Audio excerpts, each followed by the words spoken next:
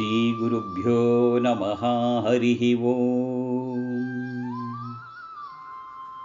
हसन्मुखाय विद्महे प्रेमरूपाय धीमहि तन्नो विरजानन्दः प्रचोदयातु। ॐ पूर्णमदः पूर्णमिदं पूर्णात् पूर्णमुदच्यते पूर्णस्य पूर्णमादाय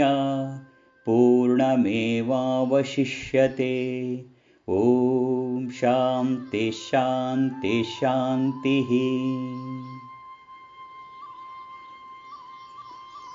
ಯಮ ನಚಿಕೇತನಿಗೆ ಸಾಯುಕ್ಕೆ ಮುಂಚೆಯೇ ಆತ್ಮಜ್ಞಾನವನ್ನು ಪಡಿಬೇಕು ಇದನ್ನು ಯಾರು ಹೇಳ್ತಿರೋದು ಸಾವಿನ ಅಧಿದೇವತೆ ಯಮ ಸತ್ತ ಮೇಲೆ ಏನೂ ಸಿಗಲ್ಲ ಇದನ್ನು ಉಪನಿಷತ್ ಒಪ್ಪಲ್ಲ ಸತ್ತ ಮೇಲೆ ಏನೋ ಆಗುತ್ತೆ ಅನ್ನೋದನ್ನು ಉಪನಿಷತ್ ಒಪ್ಪಲ್ಲ ಯಾಕೆಂದರೆ ಇರುವಾಗ ಇಲ್ಲದ್ದು ಸತ್ ಮೇಲೆ ಬರಲ್ಲ.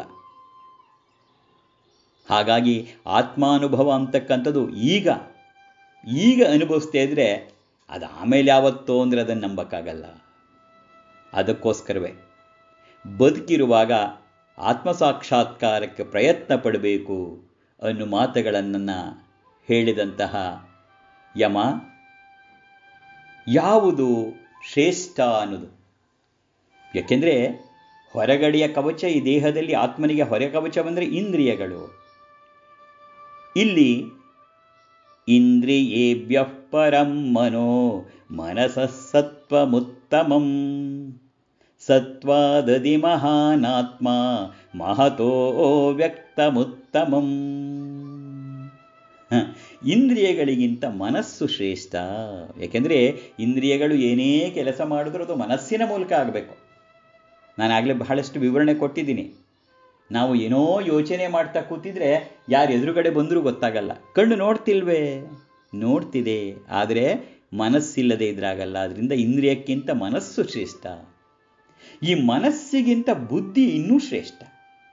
ಯಾಕೆಂದರೆ ಆ ಬುದ್ಧಿ ಹೊರಗಡೆಯಿಂದ ಬರ್ತಕ್ಕಂಥ ವಿಷಯನೆಲ್ಲ ಜೋಡಿಸಿ ತನ್ನ ಭಂಡಾರದಲ್ಲಿ ಹಿಂದೆ ಆದ ಅನುಭವನ ಇಟ್ಕೊಂಡಿರುತ್ತಲ್ಲ, ಅದಕ್ಕೆ ಹೋಲಿಸಿ ಒಂದು ನಿರ್ಣಯಕ್ಕೆ ಬರುತ್ತೆ. ಬುದ್ಧಿ ತಿಳಿದಿರುವುದರಿಂದ ತಿಳಿದೇ ಇರೋಕ್ಕೆ ನೆಗೆಯುತ್ತೆ ಅಷ್ಟೇ ಅಲ್ಲ, ಸ್ಥೂಲದಿಂದ ಸೂಕ್ಷ್ಮವನ್ನು ಗ್ರಹಿಸುತ್ತೆ. ಅದರಿಂದ ಬುದ್ಧಿ ಅಂತಕ್ಕಂಥದ್ದು ಅತ್ಯಂತ ಶ್ರೇಷ್ಠ, ಮನಸ್ಸಿಗಿಂತ ಶ್ರೇಷ್ಠವಾದದ್ದು ಯಾವುದಪ್ಪ ಅಂದರೆ ಬುದ್ಧಿ. ಆ ಬುದ್ಧಿ ಕೇವಲ ಮನುಷ್ಯನಿಗೆ ಮಾತ್ರ ಇರೋದು. ಅದಕ್ಕೆ ಮನುಷ್ಯ ಪ್ರಾಣಿ ಅತ್ಯಂತ ಶ್ರೇಷ್ಠ ಪ್ರಾಣಿ. ಆ ಬುದ್ಧಿ ಇರೋದ್ರಲ್ಲೇ ತನಗಿಂತ ಬಲಿಷ್ಠವಾದಂಥ, ದೊಡ್ಡದಾದಂಥ ಹಾವು ವಿಷ ಜಂತುಗಳನ್ನು ಕೂಡ ತನ್ನ ನಿಯಂತ್ರಣದಲ್ಲಿ ಇಟ್ಕೊಂಡಾಳ್ತಾನೆ ಈ ಬುದ್ಧಿಗಿಂತ ಯಾವುದು ಶ್ರೇಷ್ಠ ಅಂದರೆ, ಬುದ್ಧಿಗಿಂತ ಶ್ರೇಷ್ಠ ಅಂದರೆ ಮಹಾನ್, ಮಹಾತ್ ಅಂತಂದರೆ, ಮಹತ್ ಅಂದರೆ ಜೀವಾತ್ಮ. ಬುದ್ಧಿ ಎಷ್ಟೇ ಪ್ರಚಂಡವಾಗಿರಬಹುದು, ಬುದ್ಧಿ ಪ್ರಚಂಡವಾಗಿರಬಹುದು, ಆದರೆ ಅದು ಸ್ವತಂತ್ರ ಅಲ್ಲ. ಅದು ಯಾರಿಗೋ ದುಡಿತಾ ಇದೆ. ನಿಜವಾಗಿ ಬುದ್ಧಿ ಅಂತಕ್ಕಂಥ ಒಂದು ಬುದ್ಧಿವಂತವಾದ ಆಳು ಅಷ್ಟೇ. ಹಾಗೆ ಬುದ್ಧಿಯನ್ನು ಯಾರು ಉಪಯೋಗಿಸ್ತಿದ್ದಾರೆ? ಅಂದರೆ ಅವನೇ ಆತ್ಮ. ಆತ್ಮ. ಹಾಗಾಗಿ ಈ ಜೀವಾತ್ಮ ಬುದ್ಧಿಗಿಂತ ಶ್ರೇಷ್ಠವಾದದ್ದು ಜೀವಾತ್ಮ. ಈ ಜೀವಾತ್ಮನಿಗಿಂತ ಶ್ರೇಷ್ಠವಾದದ್ದು ಯಾವುದು ಅಂದರೆ ಅವ್ಯಕ್ತ. ಅವ್ಯಕ್ತ ಅಂದರೆ ಅವ್ಯಕ್ತ ಅಂದರೆ ಆ ಜೀವಾತ್ಮನ ಹಿಂದೆ ಅವನಿಗೆ ಕಾಣದೇ ಇರ್ತಕ್ಕಂಥ ಸಗುಣ ಬ್ರಹ್ಮ. ಈ ಸಗುಣ ಬ್ರಹ್ಮ ಪ್ರತಿಯೊಂದು ಜೀವರಾಶಿಗೂ ಸಾಮಾನ್ಯವಾದ ಹಿನ್ನೆಲೆ, ಎಲ್ಲ ಹಿನ್ನೆಲೆ ಯಾವುದಪ್ಪ ಅಂದರೆ ಸುಗುಣ ಬ್ರಹ್ಮ. ಯಾಕೆಂದರೆ ಅಲೆಗಳನ್ನು ನೋಡ್ತಿದ್ದೀವಿ. ಆ ಅಲೆಗಳ ಹಿಂದೇನಿದೆ? ಸಾಗರ. ಹಾಗಾಗಿ ಆ ಸಗುಣ ಬ್ರಹ್ಮ ಈ ಪ್ರಪಂಚದಲ್ಲಿ ಎಲ್ಲವನ್ನು ಸೃಷ್ಟಿಸಿದಾನೆ. ಆಳ್ತಾನೆ, ಪುನಃ ಹಿಂದಕ್ಕೆ ತಗೋತಾನೆ. ಎಲ್ರಿಗೂ ಅವರವರ ಕರ್ಮಫಲ ಕೊಡ್ತಾನೆ. ಆ ಸುಗುಣ ಬ್ರಹ್ಮನ ಮುಂದೆ ಜೀವನೂ ಇದೆ, ಜಗತ್ತು ಇದೆ, ಇದನ್ನು ಅವ್ಯಕ್ತ ಅಂತ ಕರೀತಾರೆ. ಮನಸ್ಸು ಇಂದ್ರಿಯಗಳು, ಇಂದ್ರಿಯಗಳಿಗಿಂತ ಶ್ರೇಷ್ಠ ಮನಸ್ಸು, ಮನಸ್ಸಿಗಿಂತ ಶ್ರೇಷ್ಠ ಬುದ್ಧಿ, ಬುದ್ಧಿಗಿಂತ ಶ್ರೇಷ್ಠ ಮಹತ್ ಅನ್ನತಕ್ಕಂಥ ಜೀವಾತ್ಮ, ಈ ಜೀವಾತ್ಮನಿಗಿಂತ ಶ್ರೇಷ್ಠವಾಗಿರ್ತಕ್ಕಂಥದ್ದು ಅವ್ಯಕ್ತ ಅವ್ಯಕ್ತ ಅಂತಂದರೆ ಸಗುಣ ಬ್ರಹ್ಮ. ಈ ಸಗುಣ ಬ್ರಹ್ಮಕ್ಕಿಂತ ಶ್ರೇಷ್ಠವಾದದ್ದು ಯಾವುದಾದ್ರು ಇದೆಯೇ? ಯಮ ಮುಂದುವರೆಸಿ ಹೇಳ್ತಿದ್ದಾನೆ. ಅವ್ಯಕ್ತಾತ್ತು ಪರಃ ಪುರುಷೋ ವ್ಯಾಪಕೋ ಲಿಂಗ ಏವಚ. ಯಂ ಜ್ಞಾತ್ವಾ ಮುಚ್ಚತೆ ಜಂತುರಮೃತತ್ವಚ ಚ ಗಚ್ಚತಿ. ಈಗ ಹೇಳಿದೆ ಅವ್ಯಕ್ತ ಅಂತ. ಅವ್ಯಕ್ತ ಅಂದ್ರೆ ಏನು ಹೇಳಿದ್ದು? ಸಗುಣ ಬ್ರಹ್ಮ. ಈ ಸಗುಣ ಬ್ರಹ್ಮನಿಗಿಂತಲೂ ಶ್ರೇಷ್ಠವಾದದ್ದು. ಅಂದರೆ ಸಗುಣ ಅಂದ್ರೂ ಒಂದೇ, ಸಗುಣ ಬ್ರಹ್ಮ ಅಂದರು ಅಂದರೆ ಅವ್ಯಕ್ತ. ಈ ಅವ್ಯಕ್ತಕ್ಕಿಂತ ಶ್ರೇಷ್ಠವಾದದ್ದು ಯಾವುದಪ್ಪ ಅಂದರೆ ಎಲ್ಲವನ್ನು ವ್ಯಾಪಿಸಿಕೊಂಡಿರ್ತಕ್ಕಂಥ. ಇಲ್ಲಿ ಸಗುಣ ಬ್ರಹ್ಮ ಅಂದ್ರೆ ಅರ್ಥ ಏನಪ್ಪ ಅಂದರೆ ನಾವೊಂದು ರೂಪ, ನಾಮರೂಪಗಳನ್ನು ಕೊಟ್ಟು ಭಗವಂತನನ್ನು ನೋಡ್ತೀವಿ. ಇದನ್ನು ಸಗುಣ ಬ್ರಹ್ಮ ಅಂತ ಕರೆಯೋದು. ಅದಕ್ಕಿಂತ ಮೀರಿದ್ದು ಯಾವುದು ಅಂದರೆ ಸಗುಣ ಬ್ರಹ್ಮ ಅಂದರೆ ರಾಮ, ಕೃಷ್ಣ, ಶಿವ, ಎಲ್ಲ ಸಗುಣ ಬ್ರಹ್ಮಗಳು. ಗುಣ, ಗುಣವನ್ನು ಹೊಂದು ರೂಪವನ್ನು ಹೊಂದಿರ್ತಕ್ಕಂಥ. ಆದರೆ ಅದೇ ಅಂತಿಮ ಅಲ್ಲ. ಅದಕ್ಕಿಂತ ಶ್ರೇಷ್ಠವಾದದ್ದು ಯಾವುದಪ್ಪ ಅಂದರೆ ಅವ್ಯಕ್ತ. ಅವ್ಯಕ್ತ ಅಂದರೆ ಎಲ್ಲವನ್ನು, ಇದೆ, ಆಕಾರ ಯಾವುದೂ ಇಲ್ಲ ಇಲ್ಲಿ. ಅವ್ಯಕ್ತಕ್ಕೆ ಗುಣಗಳಿಲ್ಲ, ಆಕಾರ ಇಲ್ಲ, ನಾಮರೂಪಗಳಿಲ್ಲ, ಎಲ್ಲವನ್ನು ವ್ಯಾಪಿಸಿಕೊಂಡಿರ್ತಕ್ಕಂಥದ್ದು. ಲಿಂಗಭೇದವಿಲ್ಲದೆ ಇರ್ತಕ್ಕಂಥದ್ದು. ಆ ಪುರುಷನೇ ಶ್ರೇಷ್ಠ. ಇಲ್ಲಿ ಸೀದಾ ನಿನಗೆ ಅರ್ಥ ಆಗಬೇಕು ಅಂದರೆ ಅವ್ಯಕ್ತ ಅಂದರೆ ಹಿರಣ್ಯಗರ್ಭ ಅಂತ. ಹಿರಣ್ಯ ಗರ್ಭ ಅಂದರೆ ಅವ್ಯಕ್ತ. ಪ್ರತಿಯೊಂದು ಜೀವನ ಹಿನ್ನೆಲೆಯಲ್ಲಿರ್ತಕ್ಕಂಥದ್ದೇ ಈ ಅವ್ಯಕ್ತ. ಈ ಅವ್ಯಕ್ತ, ಇದ್ರ ಜೊತೆನೇ ಸೃಷ್ಟಿ ಸ್ಥಿತಿ ಪ್ರಳಯಗಳೆಲ್ಲ ವ್ಯಾಪಾರ ನಡೆಯೋದು ಈ ಅವ್ಯಕ್ತ ಬ್ರಹ್ಮದಲ್ಲಿ. ಈ ಅವ್ಯಕ್ತದಲ್ಲಿ ನಾವು ನೋಡಿದಾಗೆ ನಾಮರೂಪಗಳಿವೆ. ಪಶು ಪ್ರಾಣಿ ಕ್ರಿಮಿಕೀಟ ತರುಲತೆಗಳು, ದೇವರು ದಾನವರು, ಎಲ್ಲ ಇದೆ. ಆದರೆ ಎಲ್ಲವನ್ನೂ ವ್ಯಾಪಿಸಿಕೊಂಡಿರ್ತಕ್ಕಂಥ ಪುರುಷನೇ ಪರಬ್ರಹ್ಮ. ಇವೆಲ್ಲವನ್ನು ನಾಮರೂಪಗಳಲ್ಲಿ ಏನೆಲ್ಲ ಕಾಣ್ತಾ ಇದ್ದೀವಿ? ಜೊತೆಗೆ ನಾಮರೂಪಗಳಿರ್ತಕ್ಕಂಥ ದೇವತೆಗಳಾಗಿರದೆ ಸಗುಣ ಬ್ರಹ್ಮ ಅವೆಲ್ಲವನ್ನು ಮೀರಿ ವ್ಯಾಪಿಸಿಕೊಂಡು, ಎಲ್ಲವನ್ನು ಸೇರಿಸಿಕೊಂಡಿರ್ತಕ್ಕಂಥ, ಆ ವ್ಯಾಪಿಸಿಕೊಂಡಿರ್ತಕ್ಕಂಥ ಪುರುಷ ಯಾರಪ್ಪ ಅಂದರೆ ಅವನೇ ಪರಬ್ರಹ್ಮ. ಇಲ್ಲಿ ಪುರುಷ ಪುರುಷ ಅಂತ ನಾವು ಪದವನ್ನು ಬಳಸ್ತಾ ಇರ್ತೀವಿ. ಪುರುಷ ಅಂದರೆ ಗಂಡಸು ಅನ್ನೋ ಅರ್ಥ ಅಲ್ಲ ಇಲ್ಲಿ. ಈ ಬ್ರಹ್ಮಾಂಡದಲ್ಲಿ ಎರಡೇ, ಒಂದು ಪುರುಷ ಮತ್ತೊಂದು ಪ್ರಕೃತಿ. ಪುರುಷ, ಪ್ರಕೃತಿ, ಎರಡೇ ಇರೋದು. ಯಾವುದು ಅವ್ಯಕ್ತವಾಗಿದೆಯೋ ಅದು ಪುರುಷ. ಆ ಪುರುಷನೇ ವ್ಯಕ್ತವಾದಾಗ ಪ್ರಕೃತಿ, ನೇಚರ್. ಅರ್ಥ ಆಗ್ತಾ ಇದೆಯಾ? ಇನ್ನೊಂದು ಸರಿ ಹೇಳ್ತೀನಿ ಕೇಳು. ಇಲ್ಲಿ ಸಗುಣ ಬ್ರಹ್ಮ ಬೇರೆ, ಹಿರಣ್ಯಗರ್ಭ ಬೇರೆ. ಅಂದರೆ ಆಗಲೇ ಹೇಳಿದ್ನಲ್ಲ, ಇಲ್ಲಿ ಅವ್ಯಕ್ತ ಮತ್ತು ಮಹತ್ ಅಂತಕ್ಕಂಥ ಜೀವಾತ್ಮ ಎರಡು ಬೇರೆ ಬೇರೆನಾ? ಜೀವಾತ್ಮ, ಪರಮಾತ್ಮ, ನಿಂಗೆ ಸೀದಾ ಹೇಳಬೇಕು ಅಂದರೆ ಜೀವಾತ್ಮ, ಪರಮಾತ್ಮ ಬೇರೆ ಬೇರೆನಾ? ಅಲ್ಲ. ಅಲ್ಲ. ಯಾವುದು ವ್ಯಕ್ತವಾಗಿಲ್ಲವೋ ಎಲ್ಲವನ್ನು ವ್ಯಾಪಿಸಿಕೊಂಡಿದೆಯೋ ಅದೇ ಅವ್ಯಕ್ತ, ಅದೇ ಹಿರಣ್ಯ ಗರ್ಭ ಅದೇ ಶ್ರೇಷ್ಠ. ಯಾವುದು ವ್ಯಕ್ತವಾಗಿದೆಯೋ ಅದು ಸಗುಣ ಬ್ರಹ್ಮ ವ್ಯಕ್ತವಾಗೋದು ಅಂದರೆ ಕಣ್ಣಿಗೆ ಕಾಣ್ತಕ್ಕಂಥದ್ದು, ಕೈಗೆ ಸಿಗ್ತಕ್ಕಂಥದ್ದು, ಕೇಳ್ತಕ್ಕಂಥದ್ದು ಎಲ್ಲ ವ್ಯಕ್ತವಾಗಿರ್ತಕ್ಕಂಥದ್ದು. ಇದು ಸಗುಣ ಬ್ರಹ್ಮ. ಯಾವುದು ಅವ್ಯಕ್ತವಾಗಿದೆ, ಯಾವುದನ್ನು ವ್ಯಕ್ತವಾಗಿಲ್ಲ ಅದನ್ನು, ಅದೇ ಹಿರಣ್ಯಗರ್ಭ. ಎಲ್ಲವೂ ಇದೆ. ಎಲ್ಲವನ್ನು ವ್ಯಾಪಿಸಿಕೊಂಡಿರ್ತಕ್ಕಂಥ ಪುರುಷ ಪರಬ್ರಹ್ಮ. ಅದಕ್ಕೆ ಇಲ್ಲಿ ಪುರುಷ ಪ್ರಕೃತಿ, ಯಾವುದು ವ್ಯಕ್ತವಾಗಿದೆ ಅದು ಪ್ರಕೃತಿ, ಯಾವುದು ಅವ್ಯಕ್ತವಾಗಿದೆ ಅದೇ ಪುರುಷ. ಪುರುಷನೇ ಪ್ರಕೃತಿಯಾಗಿದೆ. ಪ್ರಕೃತಿಯೇ ಪುರುಷ, ಎರಡು ಬೇರೆ ಬೇರೆ ಅಲ್ಲ. ಆ ಪುರುಷ ಎಲ್ಲವನ್ನು ಒಳಗೊಂಡಿರ್ತಕ್ಕಂತಹ ಪರಬ್ರಹ್ಮ, ಅವನೇ ಪುರುಷ, ವ್ಯಕ್ತವಾಗದಾಗ ನಾವು ಪ್ರಕೃತಿ ಅಂತ ಕರಿತೀವಿ. ದೇಶಕಾಲ ನಿಮಿತ್ತವನ್ನು ಮೀರಿರ್ತಕ್ಕಂಥವನು ಯಾರು? ಆ ಪರಬ್ರಹ್ಮ ಪುರುಷ. ಅವನಿಗೆ ಯಾವ ಗಂಡು, ಹೆಣ್ಣು, ಯಾವ ಲಿಂಗನೂ ಇಲ್ಲ, ಯಾವ ಗುಣಗಳೂ ಇಲ್ಲ.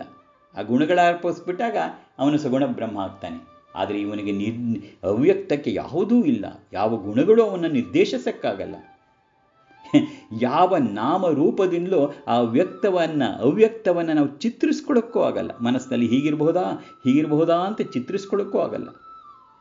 ಆದರೆ ಆದರೆ ಯಾವ ಗುಣಗಳಿಂದಲೂ ಅವನನ್ನು ಚಿತ್ರಿಸಿಕೊಳ್ಳಕ್ಕಾಗಲ್ಲ ಆದರೆ ಎಲ್ಲ ಗುಣಗಳು ಅವನಿಂದ ಬಂದಿದೆ.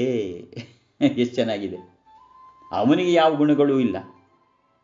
ಆದರೆ ಎಲ್ಲ ಗುಣಗಳು ಅವನಿಂದ ಬಂದಿದೆ. ಎಲ್ಲ ನಾಮರೂಪಗಳು ಅವನಿಂದ ಬಂದಿದೆ. ಅವನಿಗೆ ನಾಮರೂಪ ಇಲ್ಲ. ಅವನು ನಾಮರೂಪ ಅತೀತನು ಆದರೆ ನಾವು ಕಾಣ್ಕಣ್ತಕ್ಕಂಥ ಎಲ್ಲ ನಾಮರೂಪಗಳು ಎಲ್ಲಿಂದ ಬಂತು ಅಂದರೆ ಅವನಿಂದನೇ ಬಂದಿರೋದು ಇವನೇನೆ ಪರಬ್ರಹ್ಮ, ಪರಮೇಶ್ವರ. ಈ ಪರಬ್ರಹ್ಮ ಅಂದರೆ ಯಾವುದು? ಪರಮೇಶ್ವರ ಯಾವುದು? ಹಾಗಾದರೆ ಎರಡೆರಡು ಪದ ಉಪಯೋಗಿಸ್ತಿದ್ದೀರಿ ಅಪ್ಪಾಜಿ. ಹಾಗಾದ್ರೆ ಪರಬ್ರಹ್ಮ ಅಂದ್ರೇನು? ಪರಮೇಶ್ವರ ಅಂದ್ರೇನು? ಎರಡು ಬೇರೆ ಬೇರೆನ ಒಂದೇನ? ಒಂದೇ ಅಂದರೆ ಯಾಕೆ ಎರಡೆರಡರಲ್ಲಿ ಕರಿತೀರಿ ಅಂದರೆ ಪರಮೇಶ್ವ ಪರಬ್ರಹ್ಮಕ್ಕೂ ಪರಮೇಶ್ವರನಿಗೂ ಇರೋ ಸಂಬಂಧ. ಹೇಗಪ್ಪ ಅಂದರೆ ಒಂದು ಬರೀ ಕಣ್ಣಿಗೆ ಕಾಣುವ ಸೂರ್ಯನ ಬೆಳಕು, ಮತ್ತೊಂದು ತ್ರಿಕೋಣದ ಗ್ಲಾಸಿನ ಮೂಲಕ ಕಾಣ್ತಕ್ಕಂಥ ಸೂರ್ಯನ ಬೆಳಕು. ಇಷ್ಟೇ. ನೇರವಾಗಿ ಬರೀ ಕಣ್ಣಿಗೆ ಕಾಣ್ತಕ್ಕಂಥ ಸೂರ್ಯನ ಬೆಳಕು ಇದನ್ನು ಪರಬ್ರಹ್ಮ ಅಂದರೆ ಅದೇ ಬಣ್ಣ ಬೆಳಕನ್ನು ಒಂದು ತ್ರಿಪುಟಿ ಒಂದು ತ್ರಿಕೋಣದ ಗ್ಲಾಸಿನ ಮೂಲಕ ಪ್ರಿಸಮ್ ಅಂತ ಕರೀತಾರೆ. ಅದರ ಮೂಲಕ ಅದೇ ಸೂರ್ಯನ ಬೆಳಕು ಹಾಯಿಸಿದ್ರೆ ಅದೇ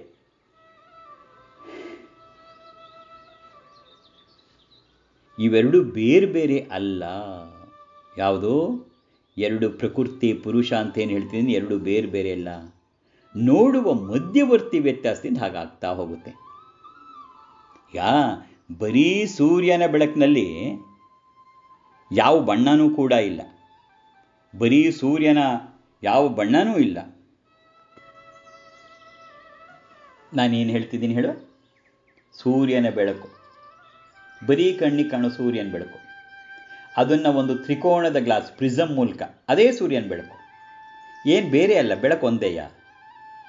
ಈಗ ಏನಾಯಿತು? ಬಿಳಿಯಾದಂಥ ಸೂರ್ಯನ ಬೆಳಕು ಆ ಮಧ್ಯವರ್ತಿ ಮೂಲಕ ಹೋಗಿದ್ರಿಂದ ಬಣ್ಣ ಬಣ್ಣವಾಗಿ ಕಾಣುತ್ತೆ.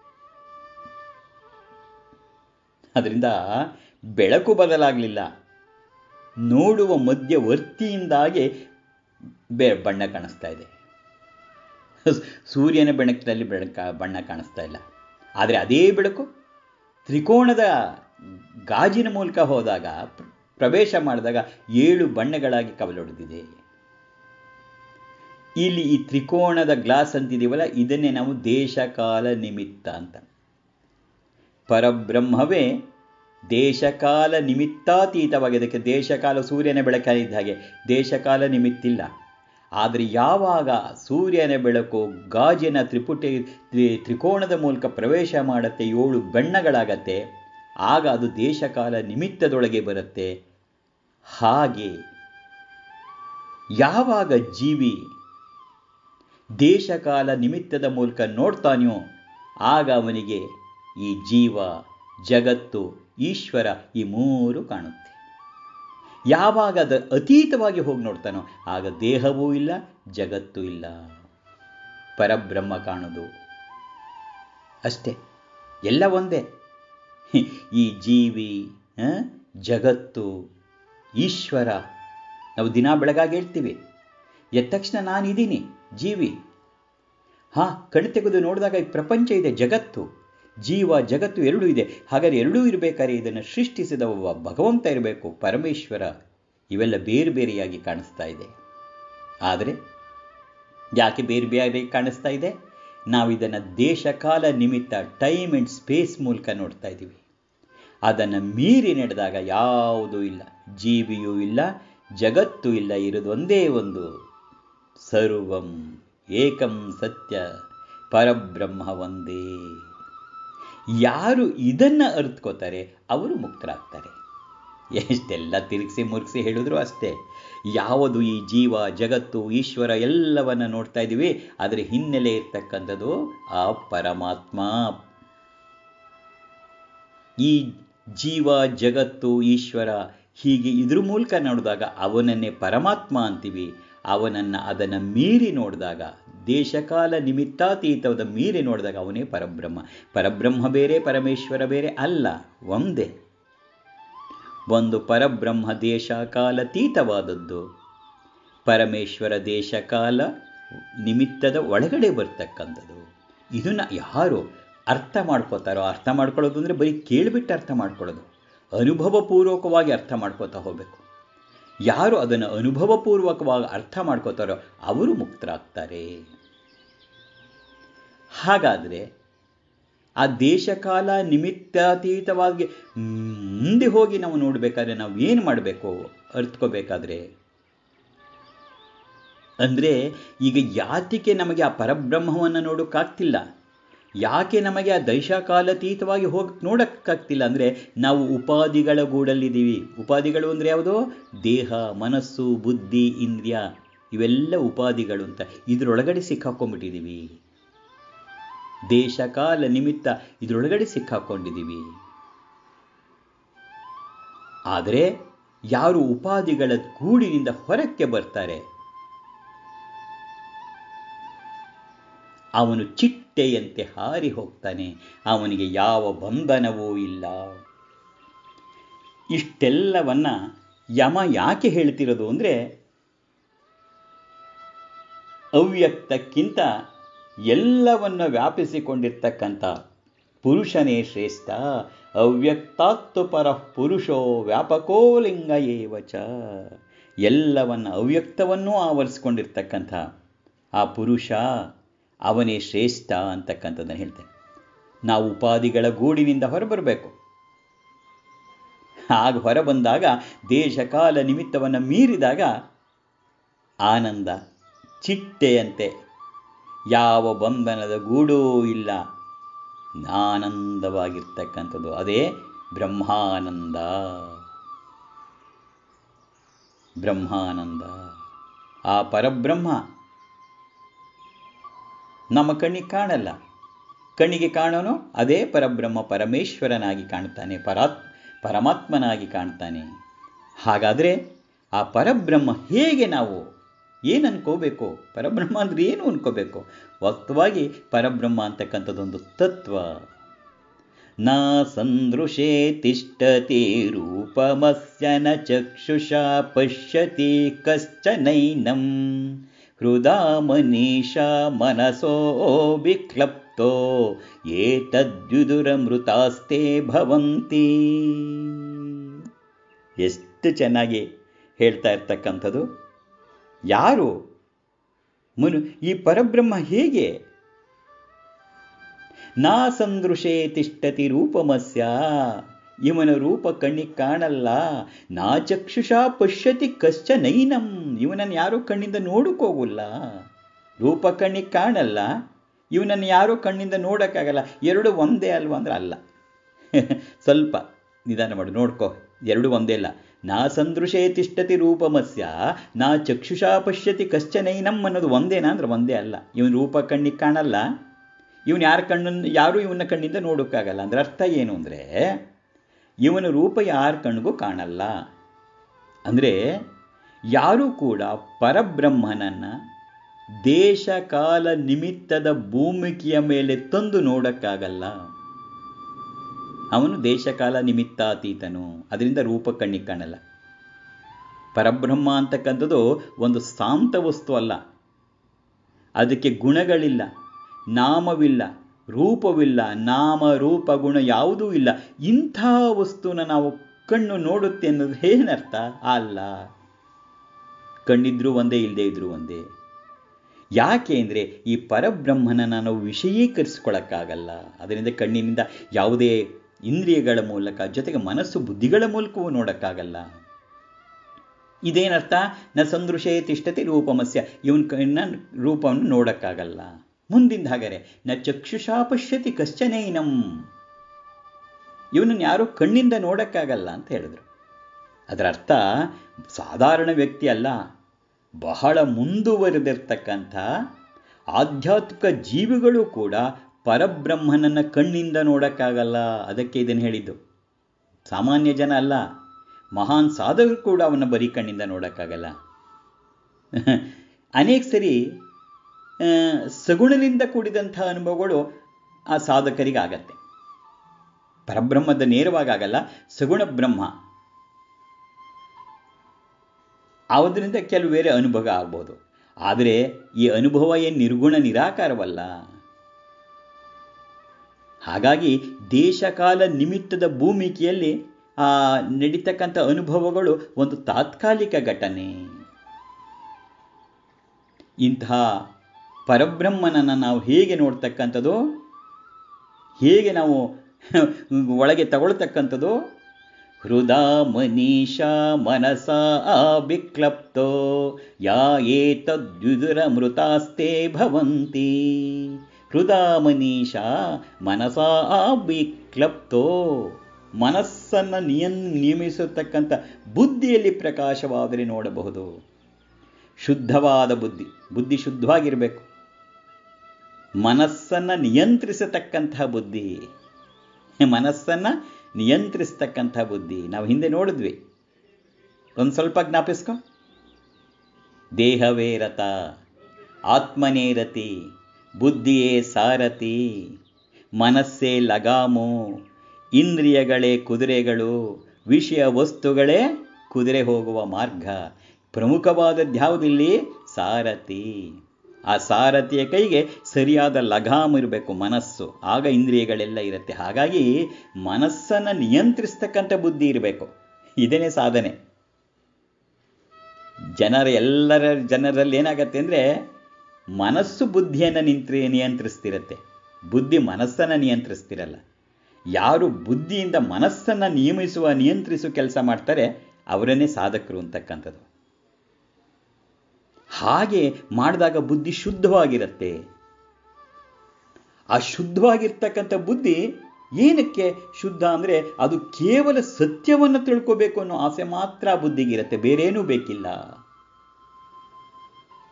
ಆ ಬುದ್ಧಿಗೆ ಪ್ರಿಯವಾದ ವಸ್ತುವನ್ನು ಸಂಗ್ರಹಿಸಬೇಕು ಅಂತಾಗಲಿ, ಅಪ್ರಿಯವಾದದ್ದನ್ನು ಬಿಡಬೇಕು ಅಂತಾಗಲಿ ಯಾವುದೂ ಇಲ್ಲ ಅದಕ್ಕೆ. ಅದಕ್ಕೊಂದೇ ಆ ಬುದ್ಧಿಗೆ, ಶುದ್ಧ ಬುದ್ಧಿಗೆ ಸತ್ಯವನ್ನು ತಿಳಿಬೇಕು ಅಂತಕ್ಕಂಥದ್ದಿರುತ್ತೆ ಆ ಸತ್ಯ ದರ್ಶನಕ್ಕಾಗಿ ಅಂಥವನು ಏನು ಬೇಕಾದರೂ ಮಾಡೋಕ್ಕೆ ಸಿದ್ಧನಾಗಿರ್ತಾನೆ.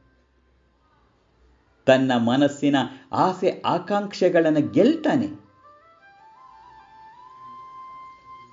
ಪರಿಶುದ್ಧವಾದಂತಹ ಇಂಥ ಬುದ್ಧಿಯಲ್ಲಿ ಬ್ರಹ್ಮ ಪ್ರಕಾಶಿಸ್ತಾನೆ. ಸತ್ಯ ದರ್ಶನಕ್ಕಾಗಿ ಏನು ಬೇಕಾದ್ರೂ ಮಾಡೋಕ್ಕೆ ಸಿದ್ಧವಾಗಿರಬೇಕು. ಮನಸ್ಸಿನ ಆಕೆ ಆಕ್ಷಾಂಕ್ಷೆಗಳನ್ನು ಗೆಲ್ಲಬೇಕು. ಅಂತಹ ಬುದ್ಧಿ ಪರಿಶುದ್ಧವಾದ ಬುದ್ಧಿ ಆಗುತ್ತೆ. ಇಂತಹ ಪರಿಶುದ್ಧವಾದಂತಹ ಬುದ್ಧಿಯಲ್ಲಿ ಬ್ರಹ್ಮ ಪ್ರಕಾಶಿಸ್ತಾನೆ. ಅವನೇನು ಮುಂಚೆ ಇರಲಿಲ್ಲ, ಆಮೇಲೆ ಪ್ರಕಾಶಿಸತೊಡಗ್ಬಿಟ್ಟ ಅಂತ ಹೇಳಬಾರ್ದು. ಯಾವಾಗಲೂ, ಎಲ್ಲವಾಗಲೂ ಸರ್ವಾಂತರ್ಯಾಮಿ, ಅವನಿಲ್ಲದ ಸ್ಥಳವೇ ಇಲ್ಲ, ಇಲ್ಲದ ಕಾಲವಿಲ್ಲ. ಆದರೆ ನಾಗ ಮತ್ತೆ ಯಾಕೆ ಕಾಣ್ತಿಲ್ಲ ಅಂದರೆ, ಚಿತ್ತ ಗಲೀಜಾಗಿದ್ದರೆ ಅವನು ಪ್ರಕಾಶಿಸೋದನ್ನು ತಿಳ್ಕೊಳ್ಳೋಕ್ಕಾಗ್ತಿಲ್ಲ ಅಷ್ಟೇ. ಅವನು ಯಾವಾಗಲೂ ಪ್ರಕಾಶಿಸ್ತಿದ್ದಾನೆ. ಚಿತ್ತ ಗಲೀಜಾಗಿದೆ. ಹಾಗಾಗಿ ಅವನ್ನು ನಾವು ಪ್ರಕಾಶಿಸ್ತಾ ಇದ್ರೂ ತಿಳ್ಕೊಳ್ಳೋಕ್ಕಾಗ್ತಿಲ್ಲ. ಯಾವಾಗ ಚಿತ್ತ ಪ್ರಶಾಂತವಾಗುತ್ತೋ, ಸಮಾಧಾನವಾಗಿರುತ್ತೋ, ಶಾಂತವಾಗುತ್ತೋ, ಚಿತ್ತ ಅಲ್ಲಿ ಬೀಳ್ತಕ್ಕಂಥ ಪ್ರತಿಬಿಂಬ ಸ್ಪಷ್ಟವಾಗಿ ಕಾಣುತ್ತೆ. ಅದಕ್ಕೋಸ್ಕರವೇ ಮ ಧ್ಯಾನ, ಜಪ ಎಲ್ಲ ಬೇಕು ಅಂತ. ಮನಸ್ಸು ಮತ್ತು ಬುದ್ಧಿಯನ್ನು ಜಾನ್, ಧ್ಯಾನ ಮತ್ತು ಜಪ ಈ ಸಾಧನೆಗಳಿಂದ ಚೆನ್ನಾಗಿ ಉಜ್ಜಿ ಬೆಳಗಬೇಕು. ಬುದ್ಧಿನ ಅರಿಯಕ್ಕೋಸ್ಕರವೇ ಎಲ್ಲ ಸಾಧನೆಗಳಿರೋದು, ಜಪ, ತಪ ಎಲ್ಲವೂ ಇರ್ತಕ್ಕಂಥದ್ದು, ಪೂಜೆ, ಪುನಸ್ಕಾರ, ಎಲ್ಲ ಇರ್ತಕ್ಕಂಥದ್ದು. ಹಾಗೆ ಚೆನ್ನಾಗಿ ಮನಸ್ಸು ಮುದ್ದೆಯನ್ನು ಚೆನ್ನಾಗಿ ಈ ಸಾಧನೆಯಿಂದ ಉಜ್ಜಿ ಬೆಳಗಬೇಕು. ಆಗ ಅದು ವಸ್ತುವನ್ನು ಚೆನ್ನಾಗಿ ನೈಜ ಸ್ಥಿತಿಯಲ್ಲಿ ನೋಡೋಕ್ಕೆ ಸಾಧ್ಯವಾಗತ್ತೆ. ಇದನ್ನೇ ನಾವು ಸಮ್ಯಕ್ ದರ್ಶನ ಅಂತ ಕರೀತಾರೆ. ಸಮ್ಯಕ್ ದರ್ಶನ ಅಂದರೆ ಸತ್ಯ ಹೇಗಿದೆಯೋ ಹಾಗೆ ನೋಡ್ತಕ್ಕಂಥದ್ದು. ಅದನ್ನೇ ಸಮ್ಯಕ್ ದರ್ಶನ. ಈಗೇನಾಗಿದೆ ಅಂದರೆ ನಮ್ಮ ಬುದ್ಧಿ ಕಲುಷಿತವಾಗಿರುವುದರಿಂದ ಯಾವುದು ಹೇಗಿದೆಯೋ ಹಾಗೆ ನೋಡೋಕ್ಕಾಗ್ತಿಲ್ಲ. ಆ ಸತ್ಯ ಹೇಗಿದೆಯೋ ಹಾಗೆ ನೋಡೋಕ್ಕಾಗ್ತಿಲ್ಲ. ಆದರೆ ಯಾರಿಗೆ ಆ ಬುದ್ಧಿ ಶುದ್ಧವಾಗತ್ತೆ? ಸಮ್ಯಕ್ ದರ್ಶನ. ಸತ್ಯ ಹೇಗಿದೆಯೋ ಹಾಗೆ ನೋಡೋಕ್ಕಾಗತ್ತೆ. ಅಲ್ಲಿ ಯಾವ ಮಿಶ್ರಣನೂ ಇಲ್ಲ, ಬೆರಕೆ ಇಲ್ಲ. ಇವರನ್ನೇ ಇಂಥವ್ರನ್ನೇ ಯಾರಿಗೆ ಅಂತ ಸತ್ಯ ದರ್ಶನವಾಗತ್ತೆ? ಅವರನ್ನೇ ನಾವು ದ್ರಷ್ಟಾರರು ಅಂತ ಕರಿತೀವಿ. ದ್ರಷ್ಟಾರರು. ಇವರು ಮಂತ್ರದಲ್ಲಿರ್ತಕ್ಕಂಥ ಸತ್ಯವನ್ನು ಅನುಭವಿಸ್ತವರು ಇವರೇ ಸತ್ಯವನ್ನು ಅನುಭವಿಸಿರ್ತಕ್ಕಂಥದ್ದು. ಕಡೆಯದಾಗಿ ಗಮನ ಇಟ್ಟು ಕೇಳು. ಆಧ್ಯಾತ್ಮಿಕ ಸತ್ಯ ಅಂತಕ್ಕಂಥದ್ದು ಸದಾ ಜಾಗೃತವಾಗಿದೆ. ಹೊಸದಾಗಿ ಬರಬೇಕಾಗಿಲ್ಲ. ಆಧ್ಯಾತ್ಮಿಕ ಸತ್ಯ ಯಾವಾಗಲೂ ಜಾಗೃತವಾಗಿದೆ. ಅದನ್ನು ಗ್ರಹಿಸಕ್ಕೆ ನಮ್ಮ ಮನಸ್ಸು ಬುದ್ಧಿ ಅಣಿಯಾಗಿಲ್ಲ ಅಂತಕ್ಕಂಥದ್ದು ಅಷ್ಟೇ ಸತ್ಯ. ಯಾವಾಗಲೂ ಇದೆ. ಮನಸ್ಸು ಬುದ್ಧಿಗಳಣಿಯಾಗಿಲ್ಲ ಆದರೆ ಆಧ್ಯಾತ್ಮಿಕ ಸತ್ಯ ಸದಾ ಜಾಗೃತವಾಗಿದೆ. ಯಾವಾಗ ನಾವು ಮನನ, ಶ್ರವಣ, ಮನನ ನಿಧಿಧ್ಯಾಸಗಳ ಮೂಲಕ, ಸಾಧನೆಗಳ ಮೂಲಕ, ಧ್ಯಾನದಿಂದ, ಜಪದಿಂದ ಮನಸ್ಸನ್ನು ಹದಗೊಳಿಸ್ತಾ ಹೋಗ್ತೀವಿ, ಆಗ ಅದು ಪರಬ್ರಹ್ಮನ ಅನುಭವವನ್ನು ಪಡೆಯೋಕ್ಕೆ ಯೋಗ್ಯವಾಗತ್ತೆ. ಯಾರು ಈ ಅನುಭವವನ್ನು ಪಡ್ಕೋತಾರೆ, ಅವನು ಅಮೃತನಾಗ್ತಾನೆ. ಯಾಕೆಂದರೆ ಬ್ರಹ್ಮವನ್ನು ತಿಳಿದವನು ಬ್ರಹ್ಮನೇ ಆಗ್ತಾನೆ. ಸಣ್ಣ ಉದಾಹರಣೆ ಹೇಳ್ತೀನಿ ಕೇಳು. ಉಪ್ಪಿನ ಗೊಂಬೆ ಸಮುದ್ರದ ಆಳ ನೋಡಬೇಕು ಅಂತ ಹೋಯಿತು. ಏನಾಯಿತು? ಉಪ್ಪಿನ ಗೊಂಬೆ ಸಮುದ್ರಕ್ಕೆ ಹೋದರೆ ಅದೂ ಸಮುದ್ರದಲ್ಲಿ ಒಂದಾಗಿ ಬಿಡತ್ತೆ. ಅದನ್ನು ತಿಳ್ಕೊತಾ ಹೋದಾಗೆ ತಿಳ್ಕೋಬೇಕು ಅನ್ನೋದರ ಇಲ್ಲವೇ ಇಲ್ಲ. ಯಾವಾಗ ಅದರಂತೆಯೇ ಆಗಿ ಹೋಗುತ್ತೆ, ಹಳೆ ವ್ಯಕ್ತಿತ್ವ ಎಲ್ಲ ಹೊರಟೋಗುತ್ತೆ. ಅಲ್ಪ ನಾಶವಾಗುತ್ತೆ ಭೂಮ ಒಂದೇ ಒಲ್ಲಿರೋದು ಯಾರು? ಆ ಭಗವತ್ ಸತ್ಯವನ್ನು ತಿಳ್ಕೊತಾ ಹೋಗ್ತಾರೆ. ಅವನು he has no separate existence of his own ತನ್ನದೇ ಆದ ಅಸ್ತಿತ್ವ ಇಲ್ಲ.